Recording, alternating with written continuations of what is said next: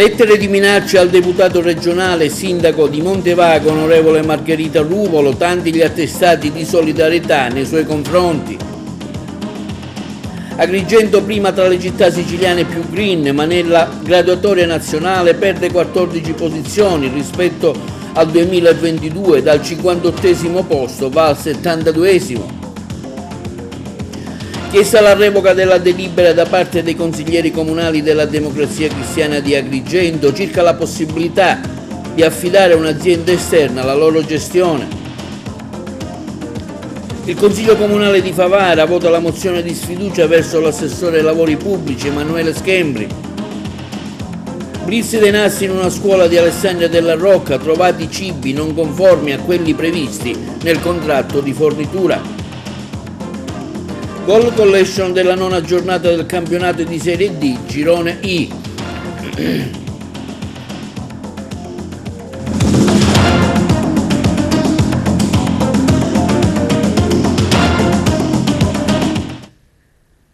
Benvenuti con l'appuntamento odierno del nostro telegiornale. Apriamo il nostro spazio informativo con le lettere di minaccia, con insulti arrivati al sindaco di Montevago, onorevole La Rocca Ruvolo, direttamente al comune che lei guida, tanti gli attestati di solidarietà in arrivo, il servizio. Due lettere di insulti e di minacce sono arrivate al sindaco di Montevago e deputato regionale componente della sesta commissione salute, servizi sociali e sanitari, l'onorevole Margherita Larrocca Ruvolo, lettere che sono arrivate direttamente al Palazzo di Città. Il sindaco e il deputato dell'Ars ha presentato denuncia alla locale stazione dei Carabinieri che hanno già avviato le indagini. Non è la prima volta per l'onorevole Margherita La Rocca Ruvolo, già nel febbraio dello scorso anno ricevette sempre al municipio di Montevago una busta con all'interno due proiettili, un santino della Madonna delle Lacrime e una foto di Papa Francesco con una bimba in braccio. Nei mesi scorsi Vittima di intimidazione era stato anche il sindaco di Calamonaci, Pellegrino Spinelli. Vicinanza e solidarietà da parte del sindaco di Favara arriva Antonio Palumbo che scrive nella speranza che la magistratura e le forze dell'ordine individuino presto chi ha commesso questi gesti spregevoli. Non posso che rimarcare come troppo spesso i sindaci siano lasciati soli ad affrontare le emergenze, dividendo spesso facile bersaglio dei criminali. Apprendo dalla nota stampa una lettera anonima recapitata all'onorevole Margherita La Rocca Rubolo, deputata dell'Assemblea regionale e sindaco di Montevago, nel condannare con forza il vile gesto che offende altresì un'intera comunità, esprimo solidarietà all'onorevole La Rocca Rubolo, che sono certa, nonostante il comprensibile turbamento, andrà avanti con determinazione nel suo impegno a favore dei cittadini di Montevago, con il sostegno degli stessi e di tutti i rappresentanti dell'istituzione. Questo è l'altro attestato di solidarietà diffuso dall'onorevole Rosellina Marchetta, deputato segretario all'ARS.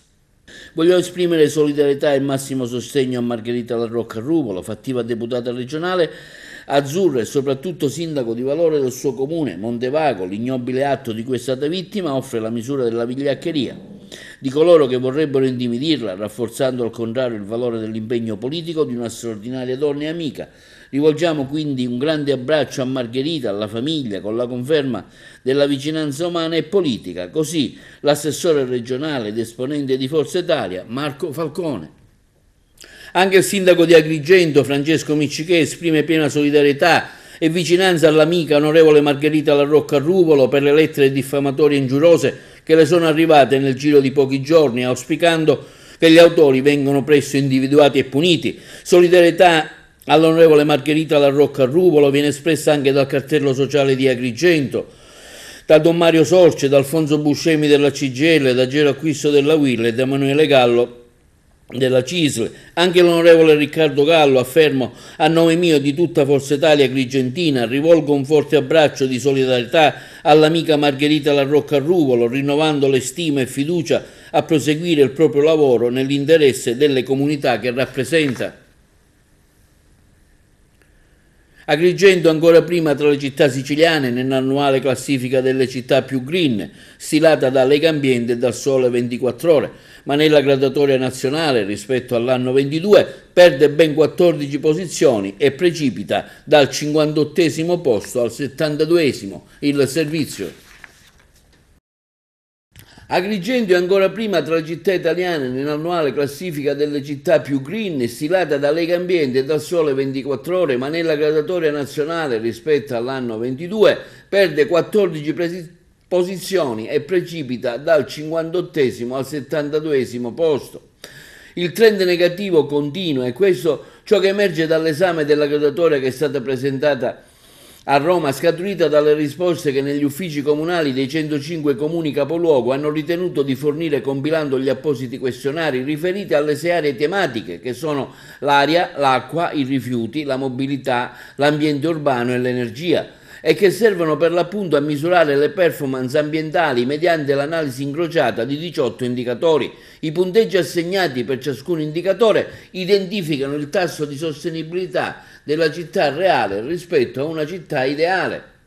Per quanto riguarda Agrigento, andando a esaminare uno per uno i suddetti indicatori, la fotografia è spietata in ordine al consumo di suolo che ci vede collocati nelle ultimissime posizioni, sia che si guardi al dato pro capite, siamo 103 sia spostando l'attenzione all'utilizzo efficiente di questa risorsa, siamo al centesimo posto.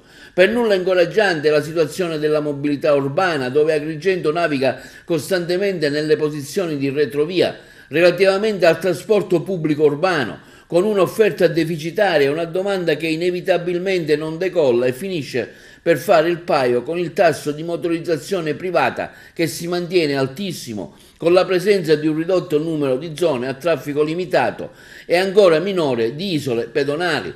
Il bilanciamento delle criticità è legato quest'anno ai bassi livelli di inquinamento atmosferico e al dato relativo alla raccolta differenziata ai consumi idrici domestici. Vale la pena sottolineare l'aggettivo domestici in quanto la percentuale tra l'acqua immessa in rete e l'acqua effettivamente consumata dall'utenza per usi civili, industriali e agricoli continua a segnare il medesimo risultato immorale di perdite pari quasi al 60%. Circa il verde pubblico si conferma quanto già emerso negli anni passati, Agrigento si ritrova ad avere una percentuale ottimale come metri quadrati di aree verde pro capite, collocandosi a ridosso della cosiddetta top 10. Ma se si guarda il numero di alberi presenti, la città precipita purtroppo alla novantesima posizione. Una posizione mediana in classifica viene mantenuta per quanto riguarda il solare sugli edifici pubblici, posizione che però non può considerarsi soddisfacente, tenuto conto che continuano a essere sopravanzati da città del nord Italia che il sole lo vedono sicuramente molto meno di noi.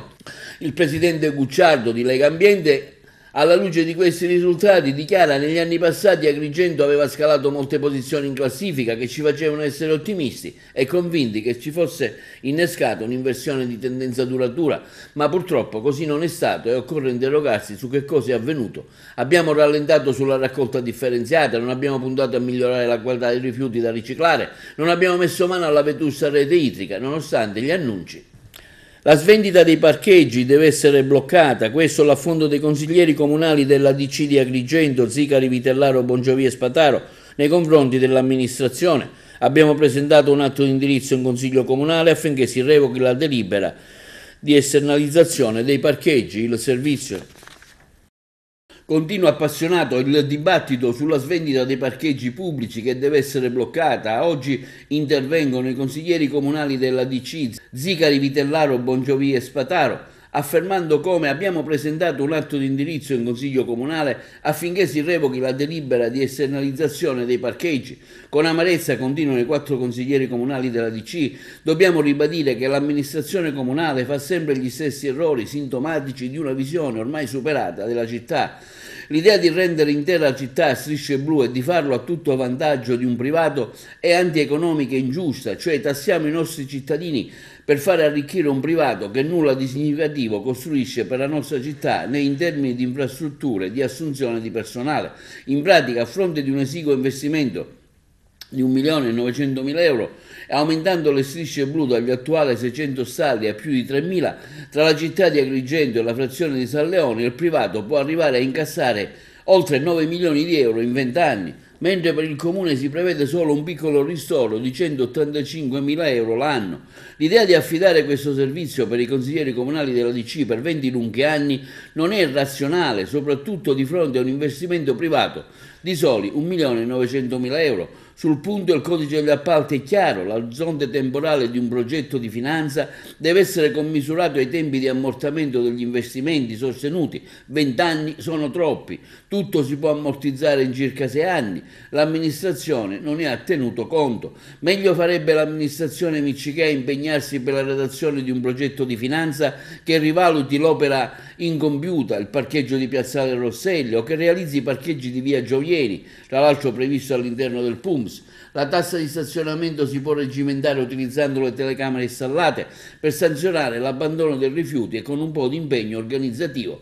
Certamente non può essere una motivazione valida svendere, esternalizzare un intero servizio di parcheggi solo per la tassa di stazionamento. Questo progetto di finanza, continuano i quattro consiglieri comunali della DC, non è affatto ragionevole e di certo non persegue un interesse pubblico. Questa delibera, per come è stata pensata, va revocata senza se, senza ma. In Consiglio Comunale sarà una battaglia e la DC farà la sua parte. Mancata riapertura della piscina comunale di Villa Seta, uno dei fallimenti più evidenti di chi amministra e non sa farlo. Questa è la nota critica del Codacons di Agrigento. Sulla mancata riapertura della piscina comunale interviene attraverso una nota stampa il Codacons, coordinamento delle associazioni per la difesa dell'ambiente e la tutela dei diritti dei consumatori, che affermano come continuano le barzellette sull'apertura della piscina comunale di Villa Seta. L'assessore al patrimonio, il vice sindaco, il sindaco Miccichè continuano a prendersi gioco degli agrigentini, dimostrando disinteresse e mala gestione del bene comune.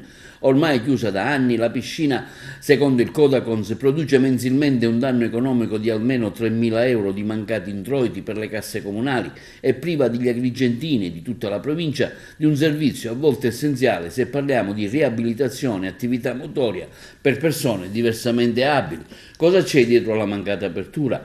Ne hanno inventati di tutti i colori, afferma il Codacons, ma noi li abbiamo sempre scovati. La verità è che loro sono troppo impegnati a gestire e prorogare appalti milionari, anche contro il rispetto delle regole del buon amministratore e a quanto disposto dalle leggi vigenti. Adesso più che mai dite alla città come stanno le cose. L'assessore al patrimonio, alla piscina e patrimonio, non è sport, l'assessore Trupia, dica alla città cosa sta facendo per ridare un servizio essenziale come la piscina agli utenti. Diteci chi pagherà i danni prodotti alla ditta, chi la gestisce e chi restituirà ai cittadini il servizio di cui li state privando da quando vi siete insediati al comune di Agrigento, tre anni producendo solo danni.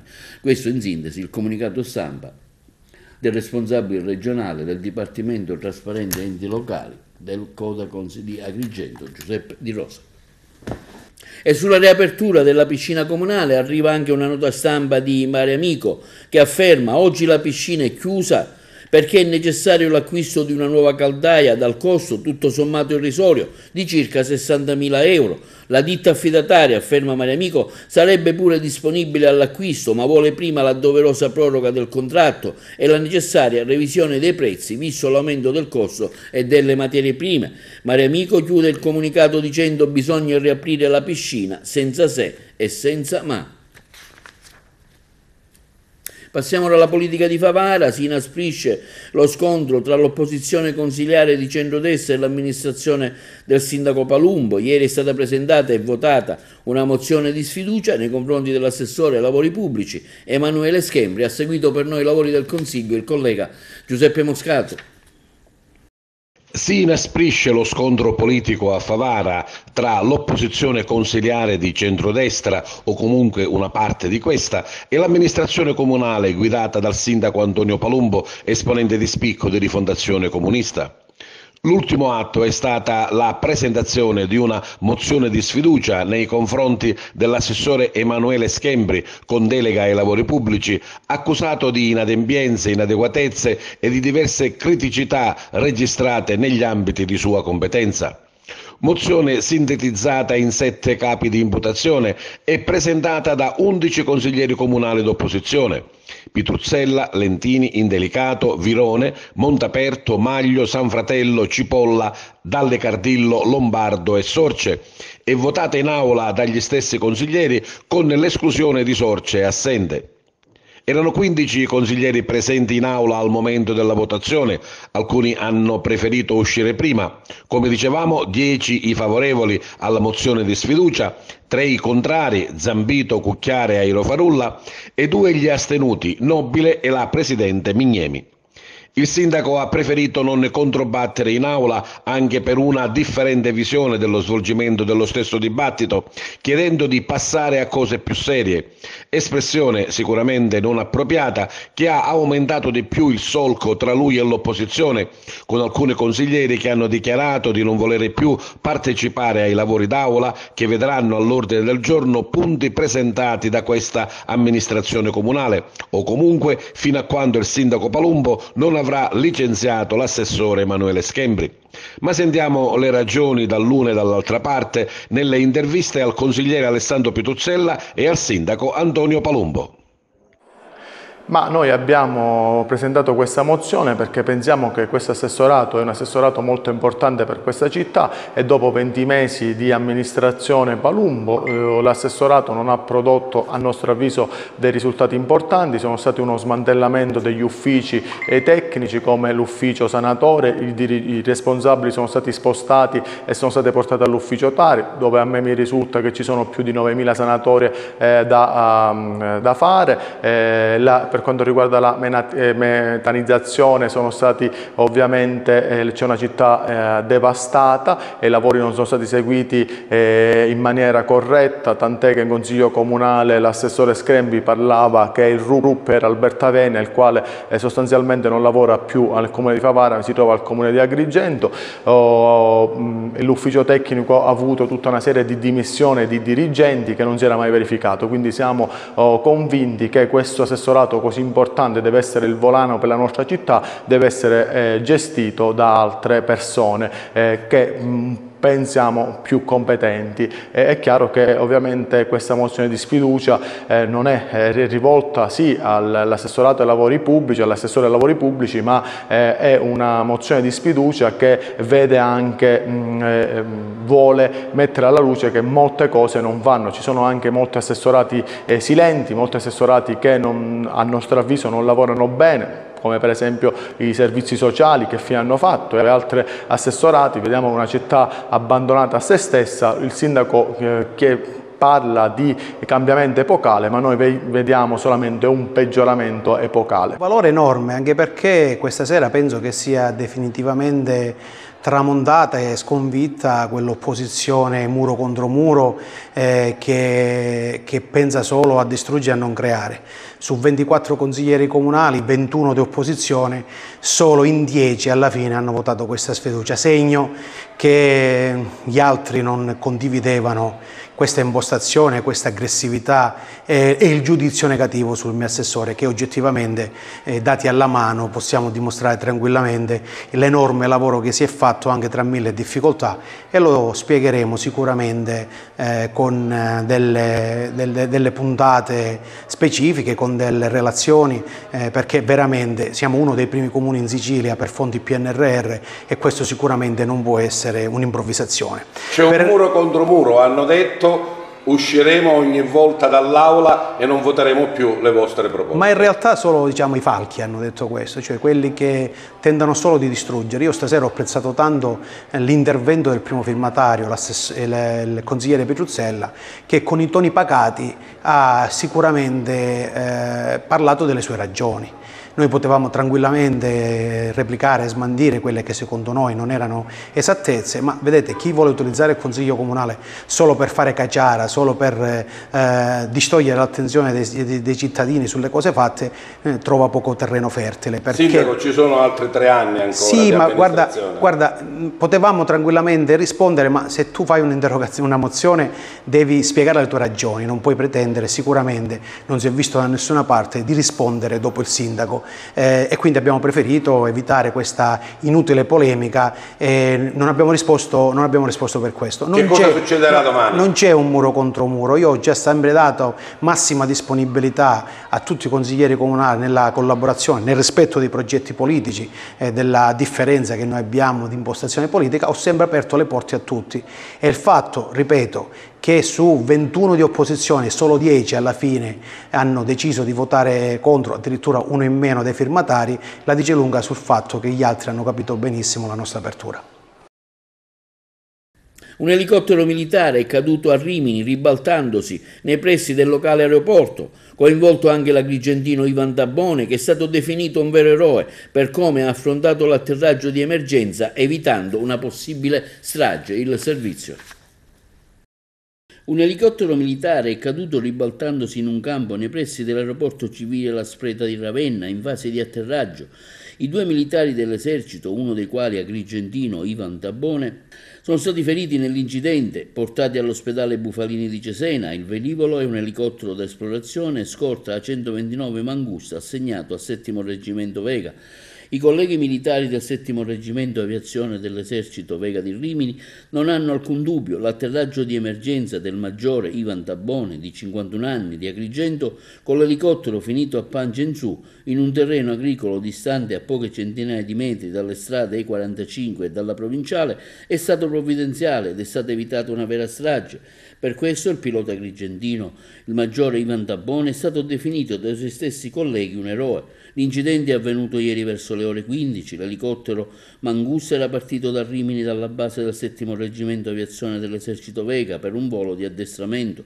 A bordo c'erano il maggiore Tabbone di Agrigento e un tenente di 36 anni.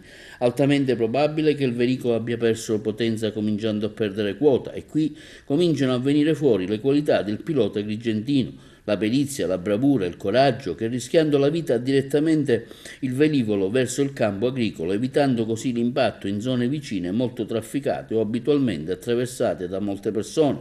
Ieri il maggiore Ivan Tabbone ha ricevuto la visita della madre, Ina Calandra, partita da Agrigento alla volta di Cesena, dove il figlio è stato ricoverato per numerose fratture, costole e vertebre soprattutto, che costringeranno il maggiore a subire venerdì prossimo un intervento chirurgico. I medici sono ottimisti e Ivan Tabbone, a parte una lunga degenza, tornerà come prima ed è fuori pericolo. Migliore sorte ha avuto il compagno di volo, tenente di 36 anni, che ha riportato ferite meno gravi ed è stato già dimesso dall'ospedale. La Procura della Repubblica ha aperto un'inchiesta per il reato di lesioni colpose. Una maxi truffa è stata scoperta dalla Guardia di Finanza di Palermo sul reddito di cittadinanza. Un impiegato è stato arrestato e 93 le persone indagate coinvolte nell'indagine del servizio. Una maxi truffa sul reddito di cittadinanza vede ai domiciliari un impiegato in una partecipata della regione siciliana per istigazione alla corruzione, falso in atti pubblici e truffa aggravata. È accusato di avere falsificato la documentazione per fare ottenere il reddito di cittadinanza a decine di famiglie che non ne avrebbero avuto il diritto. I finanzieri del comando provinciale di Palermo hanno eseguito un'ordinanza con la quale il GIP, su richiesta della procura coordinata da Maurizio De Lucia, ha disposto gli arresti domiciliari nei confronti di Francesco Tuttolomondo, di 47 anni, impiegato in un'azienda partecipata della regione siciliana indagato per istigazione alla corruzione, falso in atti pubblici e truffa aggravata per il conseguimento di erogazioni pubbliche. Con lo stesso provvedimento sono stati sequestrati il CAF Acri, centro raccolta Renella, 620.000 euro che per gli altri inquirenti sarebbero profitto dei reati. Il tutto lo mondo avrebbe anche cercato di corrompere dipendenti comunali con regali e somme di denaro per tentare di velocizzare l'iter amministrativo per il cambio di domicilio necessario ottenere il sussidio.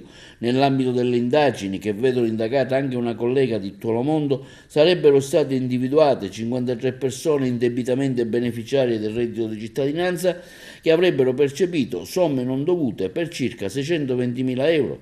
Le indagini sono state condotte dai finanzieri del nucleo di polizia economico-finanziaria di Palermo. Gruppo Tutela Spesa Pubblica sono scattate dopo la denuncia di un dipendente del comune di Palermo che avrebbe permesso di accertare la produzione di documenti falsi che servivano per la richiesta del sussidio, dichiarazioni di residenza, dichiarazioni di iscrizione anagrafica, ai fini tari, contratti di locazione, tutto inviato telematicamente alle postazioni territoriali dell'anagrafe comunale, deputate a servizio del cambio di domicilio. La necessità di ottenere l'approvazione delle variazioni sarebbe stata funzionale alla creazione dei falsi requisiti per la percezione del reddito di cittadinanza che erano legati al mancato superamento di specifiche soglie reddituali da parte del nucleo familiare e all'assenza di persone condannate per gravi reati. Un blitz dei carabinieri Nassi in una scuola di Alessandria della Rocca, si tratta dell'Istituto Comprensivo Alessandro Manzoni, il servizio. Un blitz dei carabinieri Nassi in una scuola di Alessandria della Rocca, si tratta dell'Istituto Comprensivo Alessandro Manzoni. Passi serviti agli alunni erano diversi da quelli previsti dal contratto sottoscritto dalla ditta incaricata del servizio mensa. I carabinieri, insieme ai militari della compagnia di Sciacca, hanno così effettuato un'ispezione igienico-sanitaria nell'Istituto Comprensivo Alessandro Manzoni di Alessandria della Rocca. Al termine dell'accertamento, la titolare dell'azienda, una trentenne, è stata denunciata e nei suoi confronti è scattata una sanzione amministrativa di 2.000 euro. Il comune di Alessandria della Rocca ha emesso nei confronti della ditta un provvedimento di sospensione. L'ispezione è scattata nell'ambito dei controlli disposti in ambito nazionale nelle mense scolastiche. Sono emerse infatti irregolarità nelle condizioni di preparazione dei passi e nella mancata corrispondenza con quanto previsto dal contratto. In particolare, in violazione a quanto sancito il cibo non sarebbe stato prodotto dalla ditta ma acquistato da terzi, riscontrata anche l'omessa attuazione delle procedure di autocontrollo previste dall'HCCP. Istituito l'Osservatorio del mercato del lavoro presso l'assessorato regionale della famiglia e delle politiche sociali, diretto dall'assessore regionale Nuccio Albano. Nasce in Sicilia l'Osservatorio regionale del mercato del lavoro, analizzare le tendenze e i fenomeni relativi al mercato del lavoro in Sicilia, fornire supporto alla programmazione delle politiche occupazionali della regione. Questi gli obiettivi di quanto previsto dall'Osservatorio del mercato del lavoro presso l'assessorato regionale alla famiglia alle politiche sociali e del lavoro diretto dall'assessore Nuccio Albano. Ne fanno parte appunto l'assessore, i dirigenti dei dipartimenti del lavoro della famiglia, delle politiche sociali, della formazione professionale, il presidente del CIAPI, i rappresentanti regionali del mondo sindacale, datoriale e universitario. Per la prima volta, ha affermato l'assessore Nuccio Albano, l'attività di studio e di pianificazione delle politiche formative e l'analisi delle richieste delle imprese in Sicilia avranno una reale sede di confronto L'osservatorio determinerà in sinergia con l'assessorato della formazione un salto di qualità, orientando così i corsi verso ciò che chiede realmente il mercato del lavoro, soltanto avendo contezza delle esigenze delle imprese, quindi dell'offerta di lavoro, si potrà programmare una formazione specifica e conseguentemente riuscire a incrociarla con la domanda. Attraverso una programmazione mirata può essere annullato il divario sociale ed economico della Sicilia con le aree più avanzate del Paese nel settore dell'occupazione, abbattere il gap di competitività che penalizza le nostre aziende nel mercato libero internazionale. I nostri giovani devono essere adeguatamente formati per poter cogliere le nuove opportunità che il mercato del lavoro offre.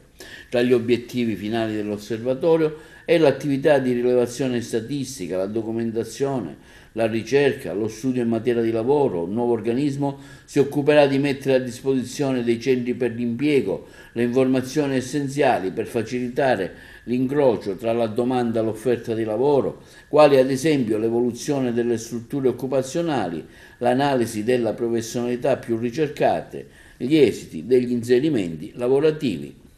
Dopo l'agenda rossa, mai ritrovata, e quella grigia, spunterebbe anche un'agenda marrone con all'interno una rubrica telefonica che in 31 anni non è mai stata repertata dagli inquirenti.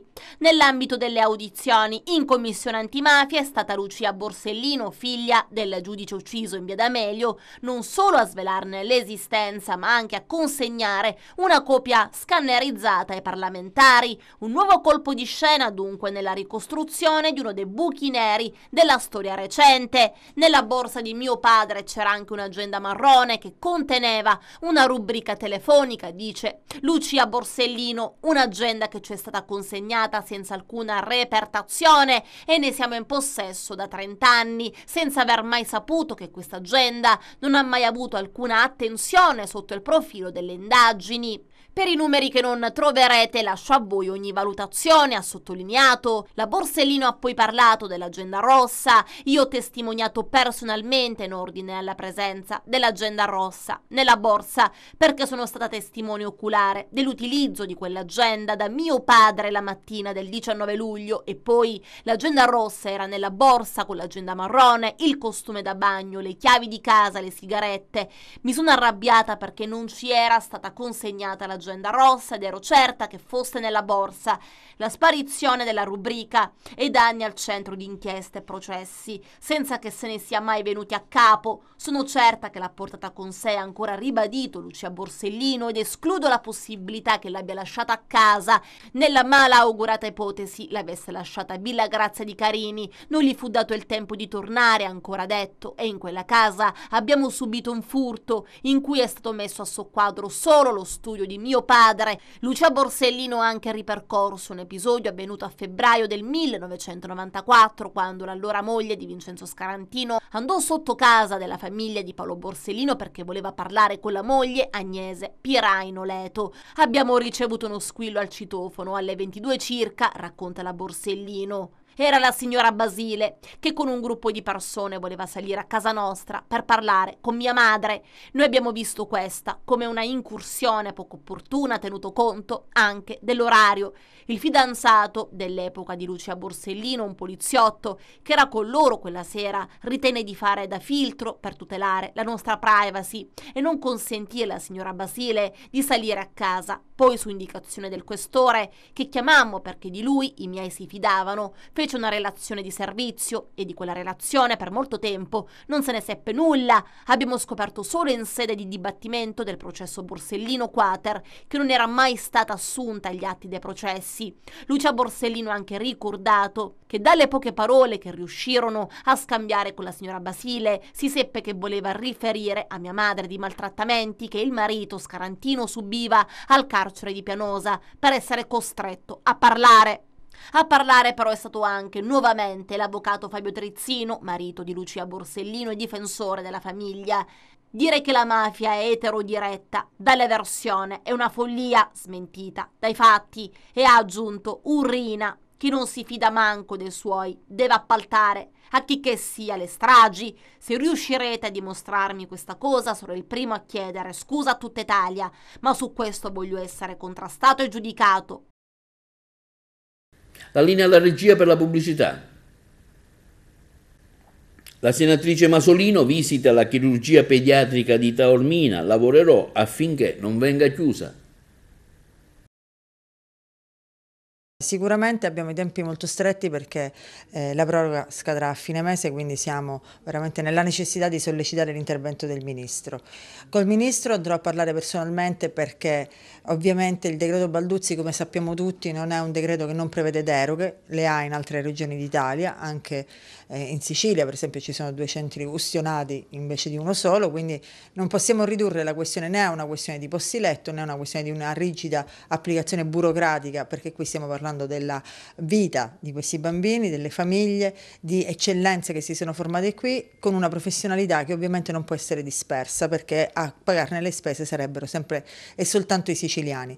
Un'utenza che non riguarda soltanto la Sicilia ma anche la sponda calabra e anche ovviamente i paesi della fascia nordafricana, ci sono anche dei medici qui che vengono a fare formazione eh, da, dai paesi extraeuropei, quindi davvero non c'è nessuna ragione per consentire che questo centro chiuda e non ci può nessun, in nessun modo bastare l'assicurazione che possa aprire un centro a Palermo perché non avrebbe la stessa eh, formazione, non avrebbe il tempo di farla e quindi sarebbero comunque persone che poi dovrebbero essere costrette ad andare al di fuori addirittura della Sicilia, da Napoli in su. È evidente che eh, su questi temi ritengo che ci sarà diciamo, poi un'adesione anche da parte di tutti i miei colleghi parlamentari siciliani, sarà mia cura coinvolgerli in una anche battaglia corale. Me ne faccio interprete, sicuramente paladina in prima persona, ma sono una persona sempre molto concreta io nelle mie cose, quindi se l'impegno lo prendo sono convinta di poterlo portare avanti. Peraltro questa questione la possiamo anche considerare fra quelle per le quali va combattuto il disagio derivante dall'insularità. La Sicilia è eh, l'isola principale d'Italia, ha delle difficoltà, dei disagi che derivano dall'insularità, fra le quali ovviamente anche quello di garantire i centri di eccellenza e non andare a pregiudicare le zone della, della, Sicilia. Quindi è una questione che possiamo articolare sotto vari punti di vista e tutti ci confermano che questo centro non ha motivo di essere chiuso.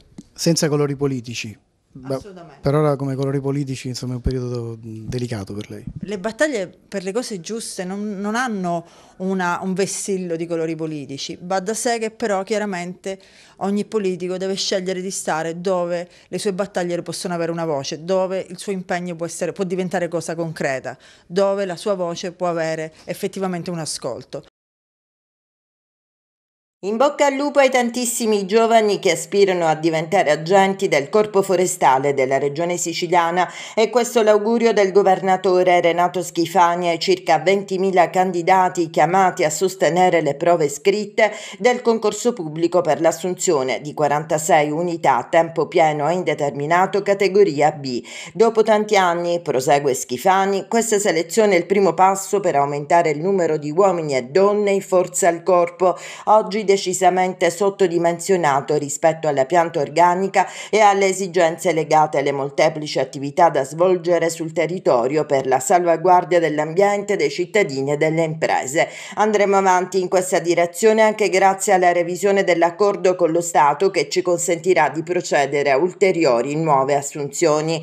Oggi la Sicilia volta pagina, afferma l'assessore al territorio e all'ambiente Elena Pagana, avviando quel processo di rigenerazione del corpo corpo forestale che una visione miope di qualche anno fa aveva drasticamente interrotto, innescando conseguenze che sono sotto gli occhi di tutti. Il mio pensiero, prosegue l'assessore, va alle ragazze e ai ragazzi, non solo siciliani, che hanno raggiunto Catania e Siracusa per sottoporsi alle prove. A tutti in bocca al lupo anche da parte mia, nella consapevolezza di averli al più presto accanto a noi per fronteggiare le tante emergenze che vedono il corpo forestale in prima linea.